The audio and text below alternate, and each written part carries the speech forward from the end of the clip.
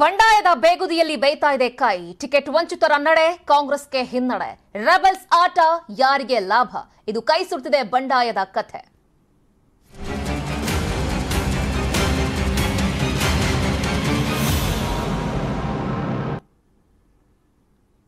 ಚಿತ್ರದುರ್ಗದಲ್ಲಿ ಕಾಂಗ್ರೆಸ್ನ ಭಿನ್ನಮತದ ಶಮನ ಪ್ರಯತ್ನ ಫೇಲ್ ಆಗಿದೆ.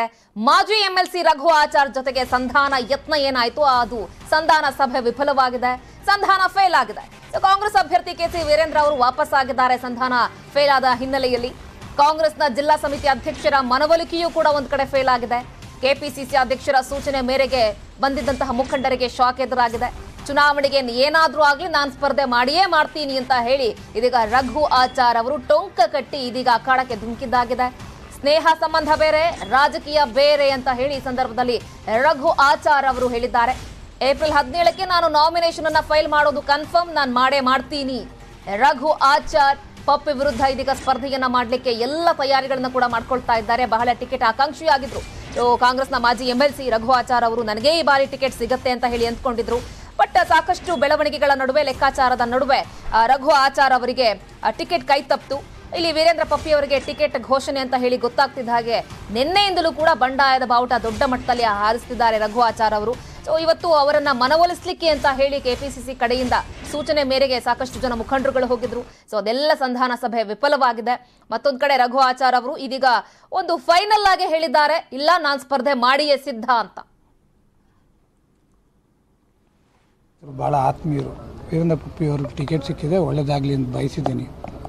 ಬಟ್ ಅದು ಇಸ್ ಟೂ ಲೇಟ್ ನಾನು ಆಲ್ರೆಡಿ ಅನೌನ್ಸ್ ಮಾಡಿದ್ದೀನಿ ಸೆವೆಂಟೀನ್ ನಾಮಿನೇಷನ್ ಮಾಡ್ತೀನಿ ಅಂತ ನಾಮಿನೇಷನ್ ಮಾಡ್ತೀನಿ. ಈಗ ಏನು ಮಾತುಕತೆ ಆಯ್ತು? ಏನು ಹೇಳಿದ್ರು ಒಳ್ಳೇದಾಗಲಿ ಅಂತ ಹೇಳಿದ್ದೀನಿ. ಎಲೆಕ್ಷನ್ ಹೆಂಗೆ ಮಾಡೋದು ಅಂತ ಟಿಪ್ಸ್ ಕೊಟ್ಟಿದ್ದೀನಿ. ಏನು ಹೇಳಿದ್ರು ಅವ್ರಿಗೆ ಅವ್ರು ಗೆದ್ದರೆ ಖುಷಿ ಪಡೋದ್ರಲ್ಲಿ ನಾನೇ ಬಟ್ ಅದು ನಾನೇ ನಿಂತ್ಕೊತಾ ಇದ್ದೀನಿ. ವಿಪರ್ಯಾಸ ಏನು ಮಾಡೋಣ?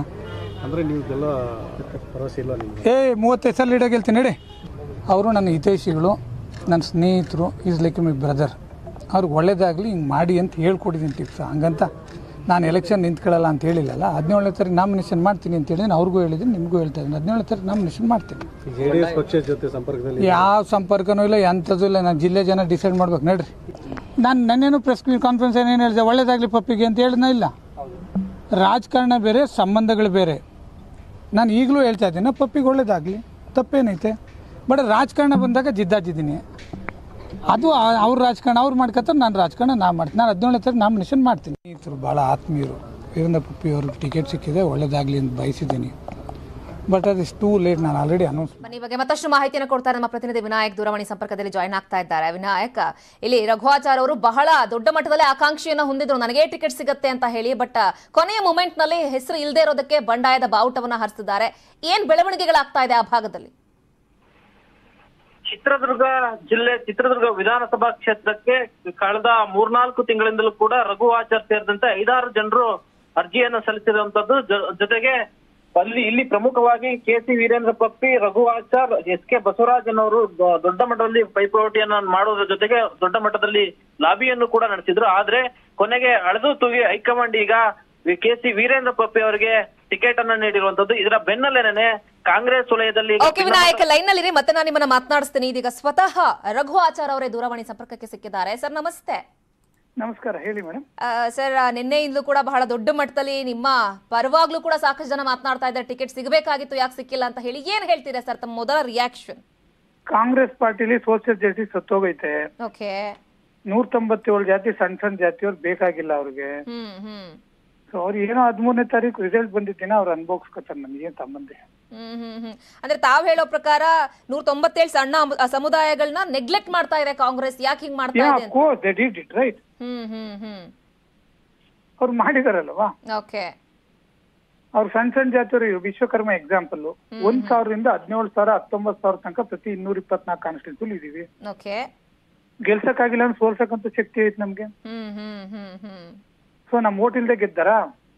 ನಿಜ. ಇನ್ನೂರ ಇಪ್ಪತ್ನಾಲ್ಕಲ್ಲಿ ಆಚಾರ ಕೇಳಿದ್ದು ಒಂದು ಟಿಕೆಟ್ ಅದು ಕೊಡ್ಲಿಲ್ಲ ಅಂದ್ರೆ ಇನ್ನೇನಕ್ಕೆ ಇರ್ಬೇಕು? ಹ್ಮ್. ಸರ್ ತಮ್ಗೆ ಸಿದ್ದರಾಮಯ್ಯನವರು ಹೇಳಿದ್ರು ಈಗ ಎಂ ಎಲ್ ಸಿ ಬೇಡ in next M L A candidate ಆಗು ನೀನು ಸ್ಪರ್ಧೆ ಮಾಡು ಅಂತ ಹೇಳಿ. ಯಾಕೆ ಲಾಸ್ಟ್ ಮೂಮೆಂಟ್ ವರೆಗೂ ಹಾಗಾದ್ರೆ ಏನಾಯ್ತು ಲಾಸ್ಟ್ ಮೂಮೆಂಟ್ನಲ್ಲಿ ಚೇಂಜಸ್ ಏನಾಗಿರ್ಬಹುದು ಅನ್ಸುತ್ತೆ? ನಮ್ಮ ನನ್ಗೆ ಅದು ಅವ್ರವ್ರಿಗೆ ಮಾತಾಡ್ಬೇಕು ಅವ್ರದ್ದು ಹಿರಿಯರಿದ್ದಾರೆ ಎಲ್ಲಾರು ಹ್ಮ್ ಹ್ಮ್. ಅದು ಏನಾಯ್ತು ಗೊತ್ತಿಲ್ಲ ನಮ್ಮ ಜಿಲ್ಲೆ ಜನ ಏನ್ ಹೇಳಿದಾರೆ ಹದಿನೇಳನೇ ತಾರೀಕು ನಾಮಿನೇಷನ್ ಮಾಡು ಅಂತ ಹೇಳಿದಾರೆ ಮಾಡ್ತೀನಿ ಗೆಲ್ತೀನಿ ಮೂವತ್ತೈದು ಸಾವಿರ ಲೀಡಲ್ ಸರ್ ತಮ್ಗೆ ಹಾಗಾದ್ರೆ ಸಿದ್ದರಾಮಯ್ಯನವರು ಭರವಸೆ ಕೊಟ್ಟಿದ್ದಂತೂ ನನಗೆ ತುಂಬಾ ಖುಷಿ ಏನಂದ್ರೆ ನನ್ನ ನನ್ ಟಿಕೆಟ್ ತಪ್ಪಿಸಿರೋ ಮಹಾನ್ ನಾಯಕರೇ ನನ್ನ ವಿರುದ್ಧ ನಿಂತ್ಕೊಬಿಟ್ರೆ ಬಹಳ ಖುಷಿ ಆಗುತ್ತೆ. ಅಂದ್ರೆ ಅದ್ರ ಮುಖಾಂತರ ಗೆದ್ದು ತೋರಿಸಿ ಅವರಿಗೆ ಯಾವ ರೀತಿ ಉತ್ತರ ಕೊಡ್ಬೇಕೋ ಕೊಡ್ತೀನಿ ಅಂತ. ಹ್ಮ್ ಅದನ್ನು ಬಂದ್ಬಿಟ್ರೆ ಜಿಲ್ಲೆಯಲ್ಲಿ ನಾನು ಎರಡ್ ಸರಿ ಎಲೆಕ್ಷನ್ ಮಾಡಿದೀನಿ ಚಿತ್ರದುರ್ಗ ಜಿಲ್ಲೆಯಲ್ಲಿ. ಒಂದ್ಸರಿ ಅಗೇನ್ಸ್ಟ್ ದ ಗೌರ್ಮೆಂಟ್ ಇನ್ನೊಂದ್ಸರಿ ಕಾಂಗ್ರೆಸ್ ಗೆಲ್ದೇ ಇರೋ ಜಾಗದಲ್ಲಿ ಗೆದ್ದಿದ್ದೀನಿ. ನಮ್ ಜಾತಿ ಪಕ್ಷ ಏನು ಮಾಡಿಲ್ಲ ನಾನು ಜಿಲ್ಲೆ ಜನ ಪ್ರಾಮಾಣಿಕವಾಗಿ ಕೆಲಸ ಮಾಡಿದ್ದೀನಿ. ಅದೇನೋ ಸರ್ವೆ ರಿಪೋರ್ಟ್ ಅದು ಏನೇನೋ ಹೇಳ್ತಾರ ಪಾಪ ಎಲ್ಲಾನು ಮಾಡ್ಲಿ ಒಳ್ಳೇದಾಗ್ಲಿ ಫೈನಲ್ ಆಗಿ ಎಲ್ಲಾರ್ಗು. ಅಲ್ಲ ಸರ್ ಓಕೆ ಯಾವ ಆಧಾರದ ಮೇಲೆ ಈಗ ಈ- ಯಾವ ಆಧಾರದ ಮೇಲೆ ಈಗ ಟಿಕೆಟ್ ಹಂಚಿಕೆ ಆಗಿರಬಹುದು ಅನ್ಸುತ್ತೆ ಸರ್? ಜಾತಿ ಲೆಕ್ಕಾಚಾರ ಅವರು? ಹಾ. ಜಾತಿನೇ ಮಾನದಂಡ ಆದ್ರೆ ಪರವಾಗಿಲ್ಲ ನಮ್ನೆಲ್ಲರೂ ಬೇರೆ ಸ್ಟೇಟ್ ಓಡಿಸ್ಬಿಟ್ರೆ ಓಟೋಯ್ತೀವಿ ಅಷ್ಟೇ. ತಾವ್ ಹೇಳೋದು ಇರೋ ಸಣ್ಣ ಪುಟ್ಟ ಜಾತಿಗಳು ಅಂದ ತಕ್ಷಣ ಅವ್ನ ನೆಗ್ಲೆಕ್ಟ್ ಮಾಡ್ಬಿಟ್ಟು ಅವ್ರಿಗೆ ಟಿಕೆಟೇ ಕೊಡಬಾರ್ದು ಅನ್ನೋದೇನಾದ್ರೂ ಇದೆಯಾ ಅಂತ ತಮ್ಮ ಇರ್ಬೋದೇನಮ್ಮ ನನ್ನ ಅನ್ಸಿಕೆ ಹಂಗೆ ಅನ್ಸುತ್ತೆ. ಹ್ಮ್ ಹ್ಮ್ ಹ್ಮ್ ಹ್ಮ್. ಅಲ್ಲ ಸರ್ ಈಗ ಸಿದ್ದರಾಮಯ್ಯ ಅವರ ನಿಮ್ಮನ್ನ ಕಾಂಟ್ಯಾಕ್ಟ್ ಮಾಡುವಂತ ಪ್ರಯತ್ನ ಆಯ್ತಾ ಸರ್? ಯಾಕಂದ್ರೆ ಅವ್ರ ಮಾತನ್ನ ಕ- ಬಹಳ ನೀವು ನಂಬ್ಕೊಂಡಿದ್ರಿ ಸಿಗತ್ತೆ ಅಂತ ಹೇಳಿಲ್ಲ ಕೊನೆ ಮೊಮೆಂಟ್ ನನ್ಗೆ ಎಲ್ಲಾರ ಮೇಲೂ ಗೌರವ ಇದೆ. ಹ್ಮ್. ಎಲ್ಲಾರು ನಮ್ ಸ್ನೇಹಿತರು ನಮ್ ನಾಯಕರು ಹ್ಮ್. ಬಟ್ ಆದ್ರೆ ಎಲ್ಲೋ ಒಂದ್ ಹತ್ರ ಸೋಷಿಯಲ್ ಜಸ್ಟಿಸ್ ಅಂತ ಒಂದು ಕಾಂಗ್ರೆಸ್ ಅಲ್ಲಿ ಇತ್ತು. ಹ್ಮ್. ಅದು ಕಳ್ಕೋತು. ಓಕೆ.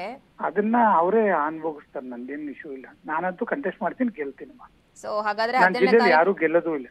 Okay okay. ಹಾಗಾದ್ರೆ ವೀರೇಂದ್ರ ಪಪ್ಪಿ ಅವ್ರಿಗೂ ಕೂಡ ನೀವು ಆಲ್ ದಿ ಬೆಸ್ಟ್ ರೀತಿಯಲ್ಲಿ ಅವ್ರು ಮಾತು ಹೇಳಿದ್ರಿ. ಬಂದಿದ್ರಲ್ಲ ಹೇಳಿದ್ನಲ್ಲ ನಾನು ನಿನ್ಗೆ ಹದಿಮೂರಿಂದ ಹದಿನೈದು ಸಾವಿರ ಓಟ್ ಬರೋದಪ್ಪ. ಹಾ. ತಲೆ ಕೆಸ್ಕೊಡ ಹೋಗು ಅಂತ ಹೇಳಿ. ಒಟ್ನಲ್ಲಿ ಹಾಗಾದ್ರೆ ನೀವು ಬಂಡಾಯ ಅಭ್ಯರ್ಥಿ ಆಗ್- ಆಮೇಲೆ ಜೊತೆಗೆ ಸರ್ ಇನ್ನೊಂದು ವಿಚಾರ ಹರಿದಾಡ್ತಾ ಇತ್ತು. ಜೆಡಿಎಸ್ಗೆ ಸೇರ್ಕೊಳ್ತಾರೆ ಕಾಂಟ್ಯಾಕ್ಟ್ನಲ್ಲಿ ಇದ್ದಾರೆ ರಘು ಆಚಾರ್ ಅವರು ಅಂತ ಸರ್ ಫೈನಲ್ ಆಗಿ ನೋಡಿ ಜೆಡಿಎಸ್ ಆಗ್ಲಿ ಕಾಂಗ್ರೆಸ್ ಆಗ್ಲಿ ಬಿಜೆಪಿ ಆಗ್ಲಿ ಬೆಂಗಳೂರಿಂದ ಬಂದ್ ಲೀಡರ್ ಯಾರ್ದು ಓಟ್ ಇಲ್ಲ ಇಲ್ಲಿ. ಓಕೆ. ನಮ್ಮಲ್ಲಿ ಹೈವೇ ಐತೆ. ಟೋಲ್ ಕಟ್ಟಿದ್ರೆ ಯಾರ್ ಬೇಕಾದ್ರೂ ಹೋಗ್ಬೋದು. ಹಂಗೆ ದಾವಣಗೆರೆ ಪಾಸ್ ಆಗುವಾಗ. ಆದ್ರೆ ಜನ ಓಟ್ ಹಾಕೋರು ಯಾರು? ನನ್ ಜಿಲ್ಲೆ ಜನ. ಅವ್ರು ಹೇಳಿದ್ಮೇಲೆ ಏನಾದ್ರು ಡಿಸಿಷನ್ ಮಾಡ್ಬೇಕೆ ಹೊರತು. ನಾನು ಯಾರು? ನಾನು ವೋಟರ್ ಅಷ್ಟೇ ಇಲ್ಲಿ. ಓಕೆ. ಸರ್ ನಿಮ್ ಜಿಲ್ಲೆ ಜನ ಏನ್ ಹೇಳಿದ್ದಾರೆ? ಸರ್ ಬಂಡಾಯ ಅಭ್ಯರ್ಥಿಯಾಗಿ ಅಥವಾ ಪಕ್ಷೇತರ ಅಭ್ಯರ್ಥಿ ಮಾಡು ಅಂತ ಹೇಳಿದಾರೆ ಚಿತ್ರದುರ್ಗ ಜಿಲ್ಲೆಯಲ್ಲಿ ಎಲ್ಲಾ ಕಡೆನೂ ನಾನೇ ಕನ್ವರ್ಸ್ ಮಾಡ್ತೀನಿ. ಪೂರ್ತಿ ಸ್ಟೇಟ್ ಟೂರ್ ಮಾಡ್ತೀನಿ. ನಾಳಿದ್ ಬೆಳಿಗ್ಗೆನೂ ಆಚೆ ನಾಡಿದ್ ಬೆಳಿಗ್ಗೆ ಎರಡು ಮೂರು ದಿವಸದಲ್ಲಿ ದೇವರಾಜ್ ಅವ್ರ ಸಮಾಧಿ ಪೂಜೆ ಮಾಡಿ. ಪೂರ್ತಿ ಸ್ಟೇಟ್ ಟೂರ್ ಮಾಡ್ತೀನಿ ಸಣ್ಣ ಜಾತಿಯವ್ರು ಯಾರು vote ಹಾಕ್ಬಿಡ್ರಿ Congress okay thank you Raghu Achar sir ಅಷ್ಟೇ ನ್ಯೂಸ್ ಏಟೀನ್ ಜೊತೆ ಮಾತನಾಡಿದ್ದಕ್ಕೆ.